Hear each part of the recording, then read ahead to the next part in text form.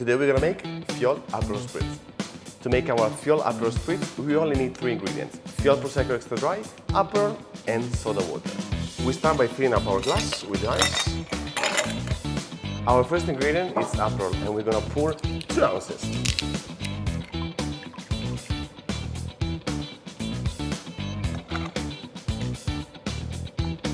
Then we're gonna add Fiol Prosecco Extra Dry.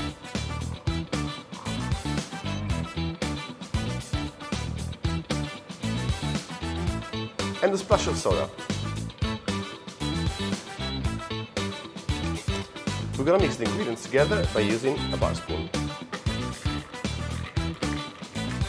And we're gonna garnish with a slice of orange. And here, the Fiol Aperol Spritz. Salute!